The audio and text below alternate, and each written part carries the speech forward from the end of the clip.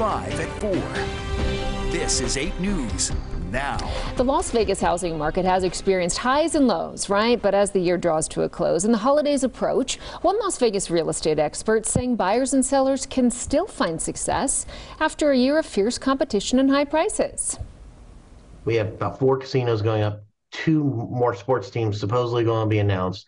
That's thousands of jobs coming into Las Vegas. That means thousands of people are going to be moving around and moving means buying and selling homes. That anticipated growth, along with home prices dropping and competition to buy them thinning, all make what local real estate expert Kirby Schofield considers a great time to buy in Las Vegas. Now, there's no denying many homeowners are holding off since mortgage rates have doubled since the beginning of the year. But to keep it in perspective, rates fell to record lows during the pandemic. Then, with inflation surging, 30 year mortgage rates last month surpassed the 7% mark, but are still below their historical average of nearly 8%.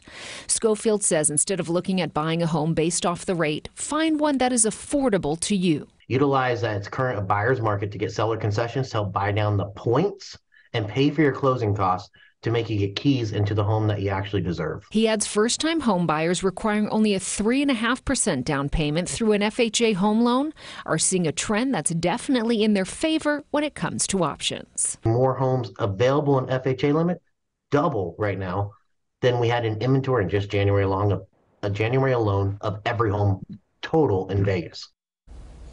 He says it's also a good time to list your home, although it may take longer to sell. Buyers are more serious about purchasing if they're looking during the holiday season. And he adds you've got equity built into your home. Use it to help negotiate the right price and right terms.